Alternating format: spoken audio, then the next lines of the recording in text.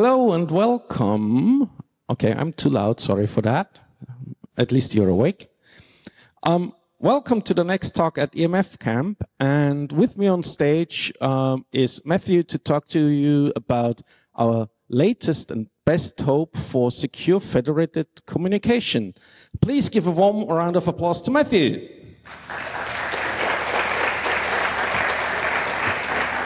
Thank you. Um, hi, everybody. Um, can you hear me? Wonderful. Perfect. Brilliant.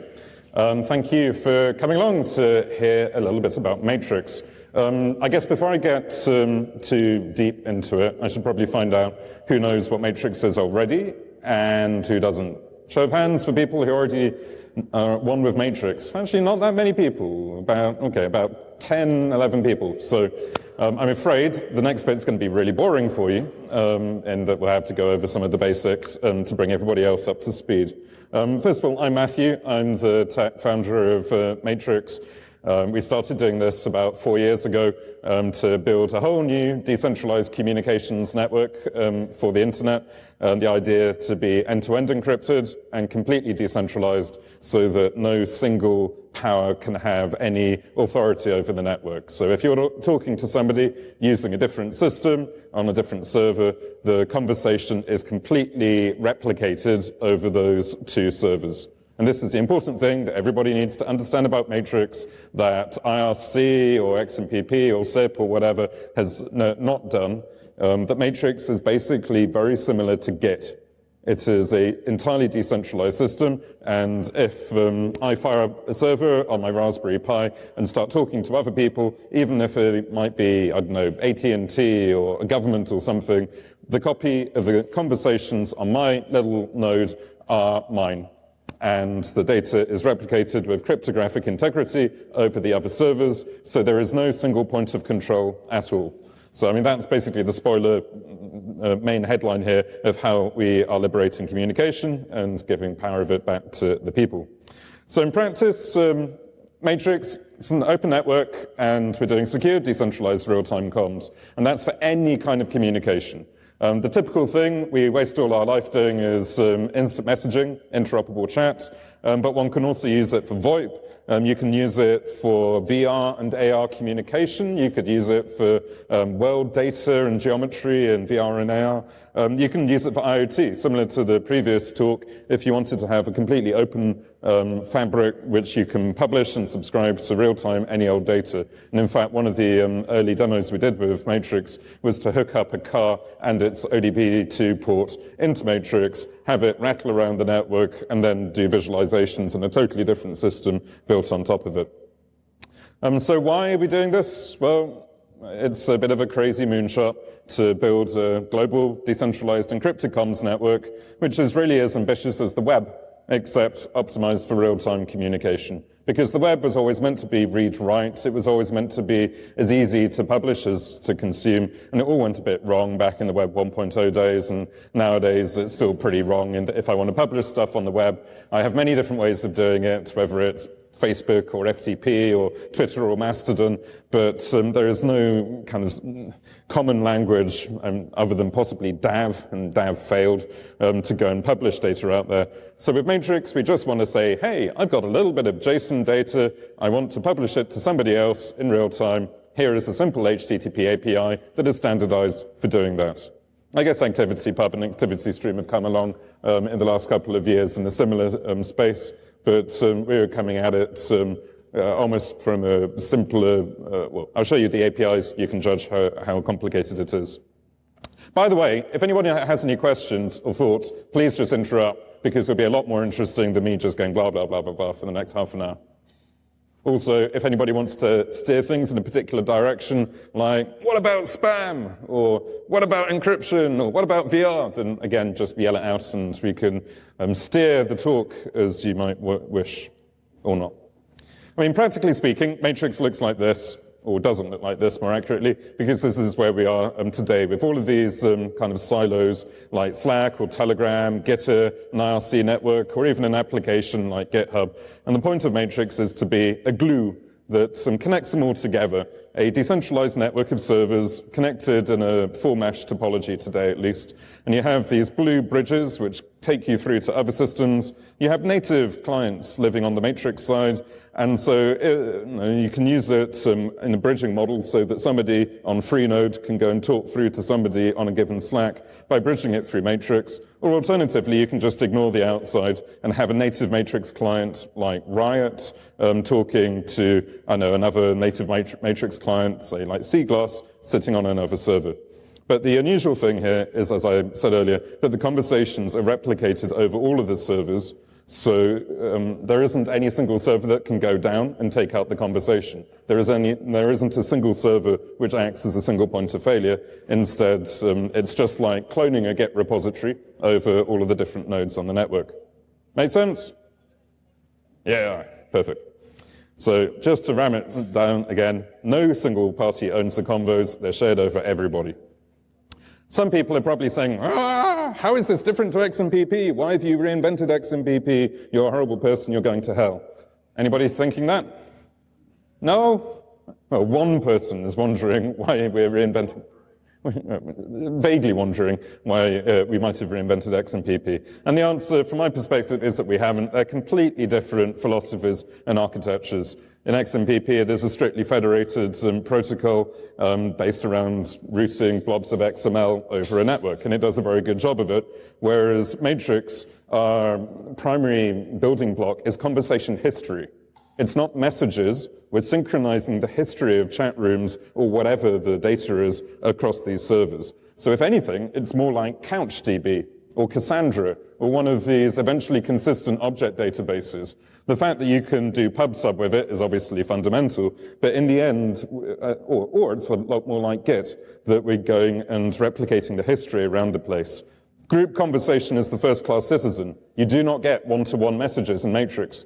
You get rooms. Now, if a room has two people in it, then you call it a one-to-one conversation. But there is no distinction between a DM and a PM or a group conversation otherwise at the protocol level. Also, end-to-end encryption uh, we designed from the outset. It took us a few years to implement it, and technically it's still in late beta now, but it's still there as a kind of fundamental assumption that sometime real soon now we will turn it on compulsorily for all private communication on Matrix. Um, also, we use HTTP and JSON as the baseline API. You can use other transports too. If you're allergic to HTTP and you hate JSON, you do not have to use it in Matrix.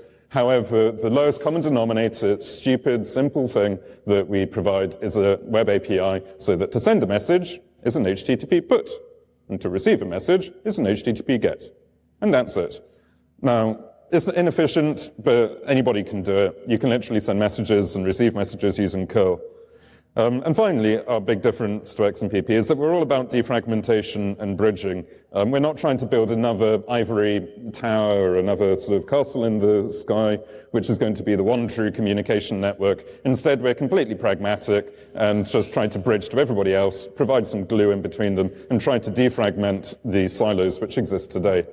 Now, I'm not going to bang on too much about the problems inherent in siloed communication because I'm assuming I'm preaching to the choir and everybody agrees that it's a pretty bad thing that uh, humanity has become helplessly dependent on Facebook and WhatsApp and Twitter as their ways of communicating. So let's just take it as a given perhaps that um, uh, it isn't a good idea to empower people to control their own communication, pick their communication provider, be able to migrate between their communication providers, and have a completely open standard, open source, non-proprietary, um, non-encumbered model um, for doing so.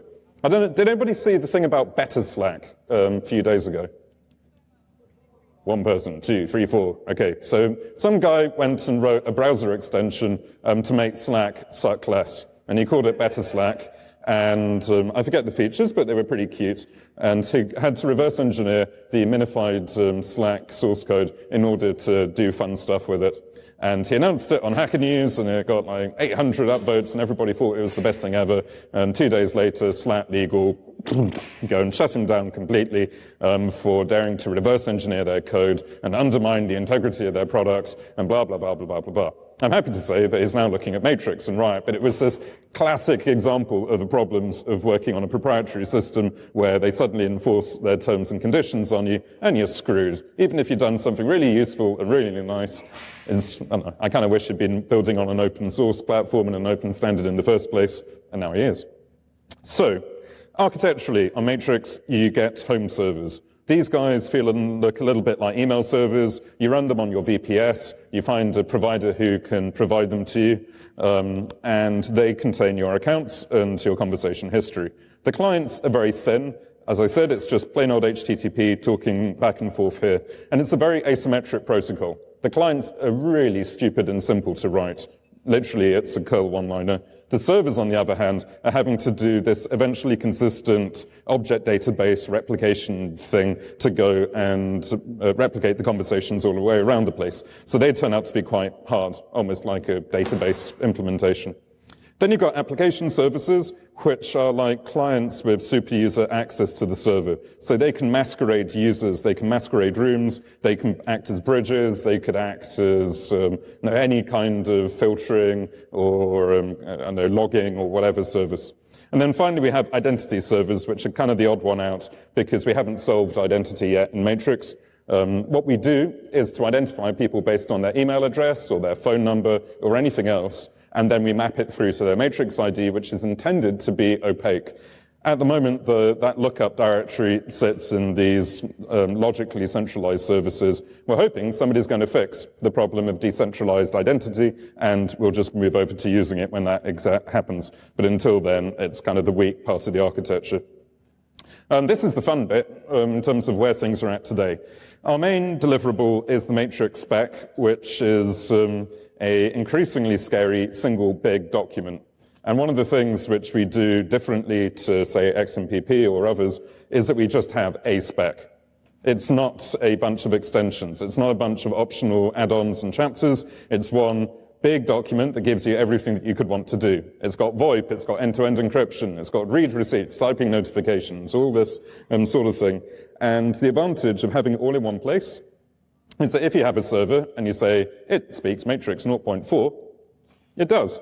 You don't get the fragmentation, you don't get the, oh, I'm not sure whether my client's implemented end-to-end encryption yet, etc. If it's a compliant client, we have a baseline that defines precisely what you need to do to speak matrix. Historically, this has been quite um, unloved, shall we say, because uh, in practice, trying to get the right juggle between doing reference implementations and then making sure the spec is really, really good is a nightmare because it at least doubles the amount of work in order to um, also get consensus from the community that we're adding in a new feature into the spec and all of this kind of logistical thing. But the good news is that in the last couple of months, we've actually been working almost full time on the spec and it's got a lot, lot better.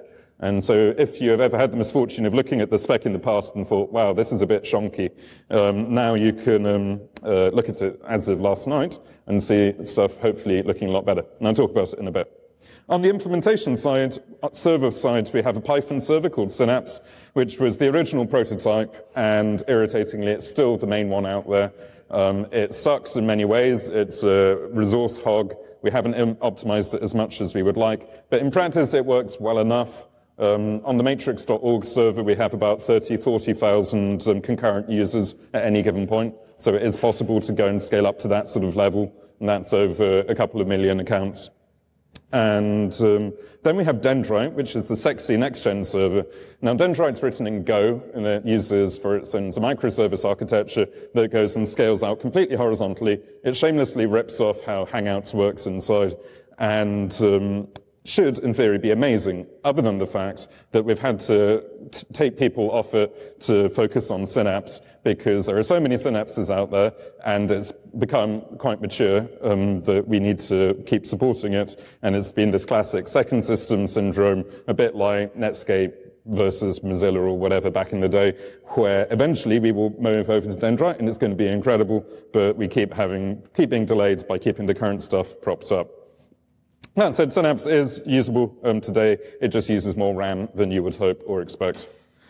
Um, we also have application services and bridges through to loads of different platforms, whether it's Slack or Gitter or Telegram or WhatsApp or iMessage or basically anything out there. Either we or the community have written a bridge.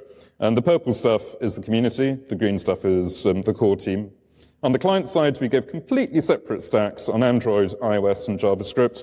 The lowest level is the web API wrapper. The next one up is the UX UI components. And the one above that are applications themselves written on top of it. And the team also writes the Riot app, which is a kind of flagship app because one of the things we think went wrong in the past is uh, protocol, open protocols often don't have a flagship application. Like XMPP has never had, until in some ways recently on Android, you have conversations, but before then, especially cross-platform, there hasn't been the obvious XMPP client that everybody should be using. So on Matrix, we wanted to build one, and we called it Riot, and it sits on top. The cool thing about having totally native stacks um, here is that if you want to embed into Android or iOS or the web, you've got many, many different layers in which to go into it at, and you're not having to use React Native, you're not having to use some kind of device abstraction thing. Uh, the bad news is that for us, we end up doing triple the work that we should do in any sane world because we have to maintain completely separate code bases over all three platforms. Um, enough talking, let's actually look at it. Uh, oh, yes. Oh, so a microphone is winging its way to you on, uh, on angel wings. A question? Yeah, yeah, sorry to interrupt. Uh, I didn't see anything about uh, embedded platforms like microcontrollers and things. Is is that just because it's straight HTTP and you don't really have to, or I don't know? Do you have so, something to comment on that? So on the server side, um, it's not well suited um, to embedded platforms because the servers today are chunky. The next gen ones should be much better. Client side, you can absolutely use them on um, embedded platforms. And in fact, there's an ESP80 um, to whatever that processor is, um, based platform um, uh, in Matrix, and it's like 20 lines of code, because luckily it has an HTTP client that works. And let's face it, most things have an HTTP client these days. So it's not perfect because it's HTTP, but it's certainly good enough to control Adafruit, um, LEDs. I know a guy who has his entire house lit um, via Matrix, um, and, and that kind of thing. But it's more of the proof of concept phase. That's all right. Um, can you see this? This is my personal Riot um, web um, sitting in one of our um, dev rooms, um, Synapse Dev. Uh, it's worth noting that Matrix scales quite well. Um, I'm in like 1,400 different conversations here, and uh, I don't know, if I go into a room like Matrix HQ, that's got 1,600 people in it. At points, the rooms have gone up to 20, 30,000 people. So relative to something like Slack, we're just in a whole different order of magnitude of um, uh, scale and, and, complexity. We have things like read receipts, oh, hello world, and uh, typing notifications, of course. Hopefully I have enough internet connectivity to send a message, and hopefully you'll see that people's faces start to Tetris grid down the right-hand side as they read my message. Why doesn't Slack have read receipts?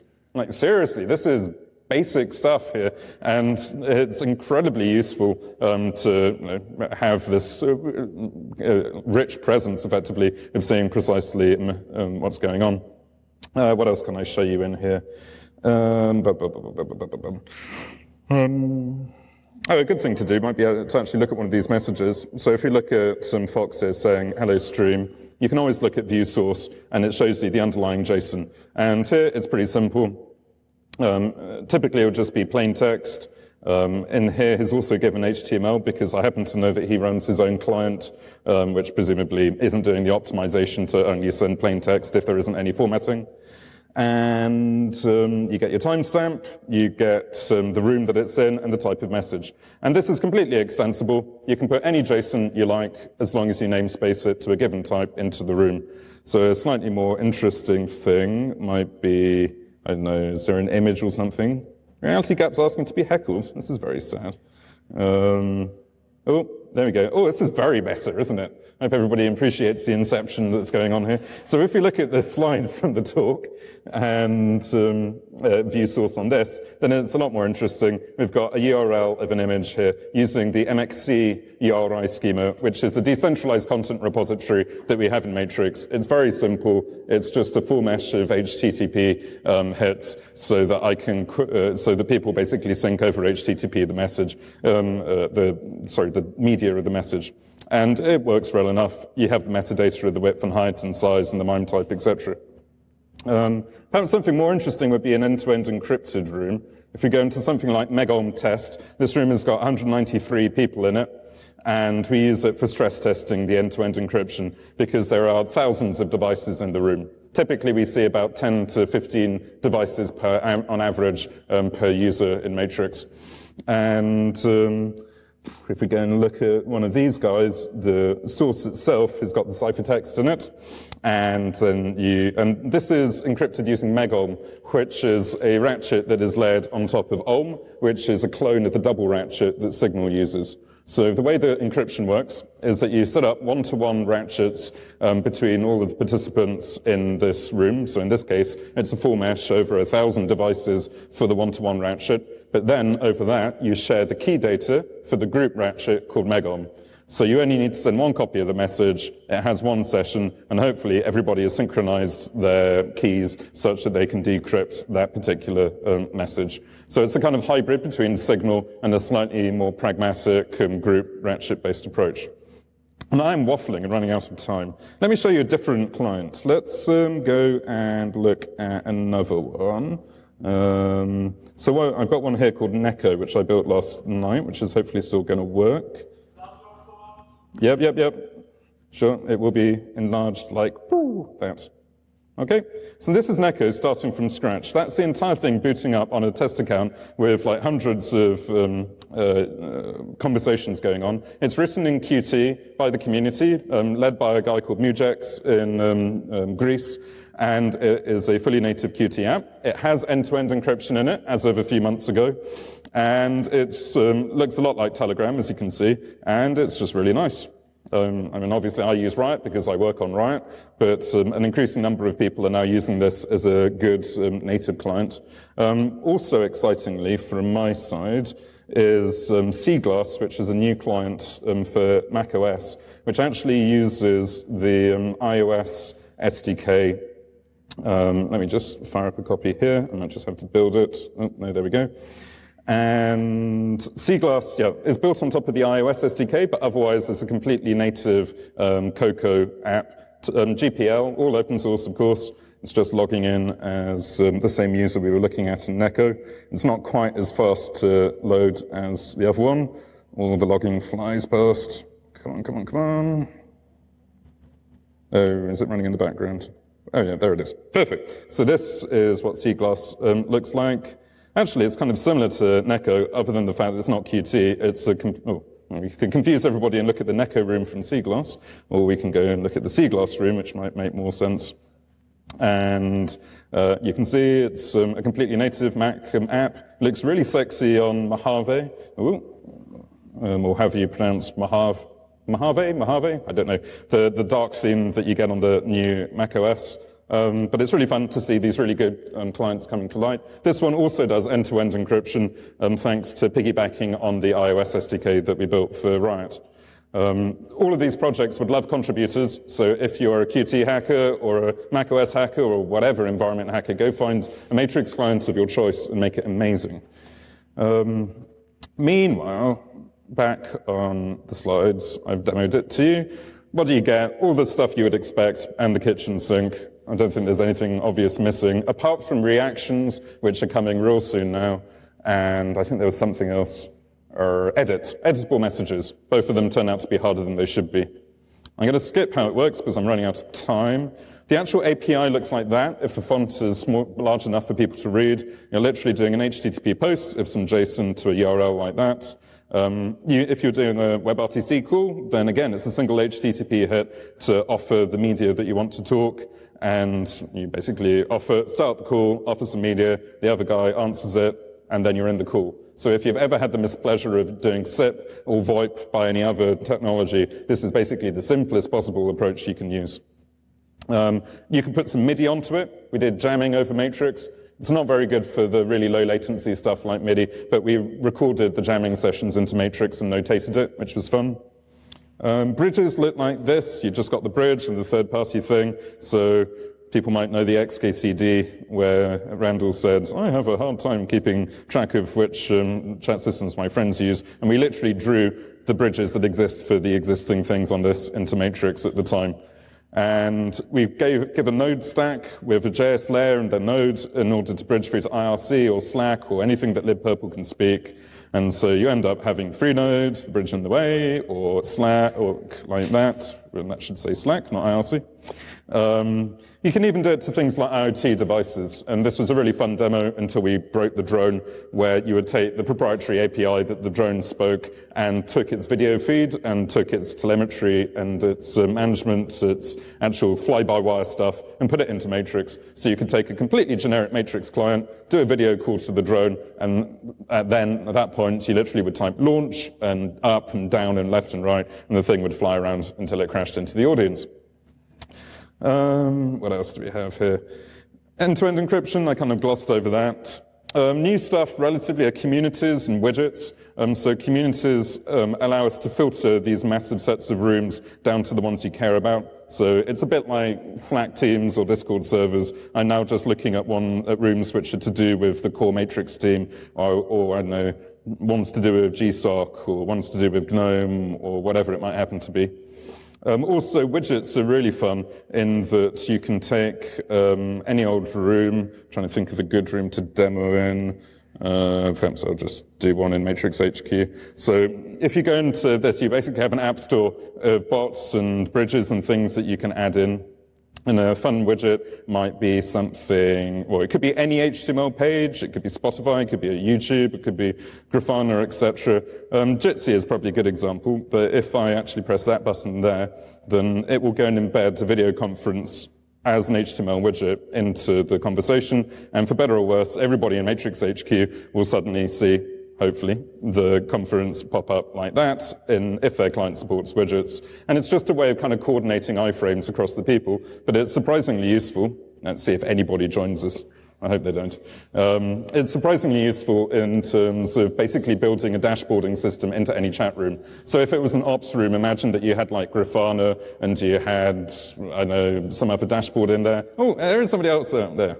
Hello, whoever you are. You look as if you're in your room, but this room based on the ceiling. uh, we can go and try to crash the Jitsi and see um, what else it can do. Anyway, um, I'll kill that um, now, otherwise my laptop will probably run out of battery. Um, so that's an example of a widget, and I'm very nearly out of time. What else shall I say? Um, community status. Oh yeah, France has adopted Matrix uh, on a kind of state level. Um, they've gone and rolled it out across 15 of their ministries now. They're aiming for 35 by September, end of September. They've written their own Matrix client, which is a very, very cute, um, kind of um, totally end-to-end encrypted um, approach for doing this. And they've also um, done a lot of interesting stuff with antivirus and the other enterprisey stuff you would expect if you were a government running on top of Matrix. If you happen to work for a government here and you want to not be using Slack, Mr. GDS, then please come and talk to me afterwards because we'd love to help you out because it's a bit amusing that a UK-based project like Matrix has ended up being adopted by France but not the UK. Um, in terms of growth, over the last couple of years, users keep on going up. Yay! Um, traffic keeps on going up, other than the encrypted traffic, which has grown a lot more slowly because the UX sucks. Um, we're doing everything we can to fix the UX at the moment, and there's good stuff coming very shortly. Number of servers out there is actually now at about 5,500, um, so not quite as big as the web, but hopefully we're getting there, and the number keeps going up. Matrix 1.0, we've been in beta now for four years. We were trying to get stable release of all APIs by the end of August. As of 3 a.m. this morning, we got all of them out apart from the Federation API. So this is a massive, massive win. Previously, it was just the CS API. Um, as I said, we've been doing lots of work on the spec. You can see that we first wrote the spec back in 2015, then it kind of trundled along, and then in the last couple of months, we've been right back at it to try to get it to a 1.0. Um, uh, the server-to-server stuff is nearly done. There's 26 issues left, nine in review. Um, lots of emphasis on security, but at that point, hopefully you all hear that Matrix is out of beta, and we're finally you know, completely launched. All new Riot on the horizon, looking a lot less green, a lot more like Slack or Discord, hopefully a lot better. Um, also on mobile, looking like that. Um, lazy loading is going to reduce RAM by a factor of five, which is nice. Um, we need to get end-to-end out of beta. Uh, we need to do other things which are missing, and we need help.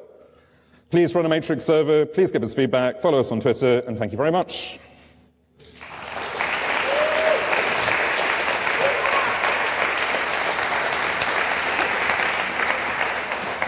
Perfect timing. Thank you very much. Sorry for having to we rush. can do we can do a few questions um, because I want to test this new tool. so, can we turn? Hello? oh, amazing. um, it's some kind of flying microphone. Yeah, this is really good. Um, Closer to the mouth. Yeah. I was wondering about. Oh, I was wondering about uh, uh, Git and or uh, Git and issue tracking integration because I'm aware that I think GitLab are looking, starting to look at ActivityPub for that, and I was wondering whether what the yeah what the capabilities of Matrix in that space were and what, what's planned. Our capabilities kick ass when it comes to um, issue tracking integration. So if I go into an internal room like this one, where everybody's getting excited about the spec releases, I do slash exclamation mark GitHub create um, hello world, then it will go and log in with my actual GitHub credentials into GitHub and create that issue um, on the default project, which happens to be Riot Web as me as my actual thing. And likewise, you can go and webhook everything in from GitHub too. Um, so we live by it. And it's not just GitHub, it's got Bitbucket and all sorts of other things too. If, if we keep if we keep it short, uh, we can do two more, and then we move it outside for further follow-ups and Grab stuff me like afterwards too. Have you got any news about the key verification UI changes? Yes, absolutely. Sorry, I completely skimmed over that slide, um, but it was one of, I think it was even the top thing of exiting uh, beta for end-to-end encryption. First of all, you got incremental key backups, which uh, the PRs have almost landed, which um, makes it a lot harder to lose your keys. Then the new verification, we've got QR codes and comparing mnemonics. Both of them are fully designed, fully spec'd. We have a UX workshop on Monday to actually lock down what it looks like, and then we're going to implement it before we go mad. I'm sorry that it sucks for so long, but we're going to fix it. So and then the, finally, the, the, cross short, the short question part works already. The Sorry. short answer part we work on. Last question, please. Yeah, le- thank you very much for the talk. Um, I was wondering if you could uh, tell us your thoughts on machine-to-machine communication through Matrix. Uh, we want somebody to do it. We haven't been focused on it. It could be used very much for that. HTTP isn't great for it. Better transports would be amazing. Please do an MQTT transport or a CoAP transport. Um, also, it helps if you need the encryption because otherwise it might be simpler to just use MQTT. But if you need federation or encryption, then use us. Awesome. Thank you very much. Please give another warm round of applause for Matthew.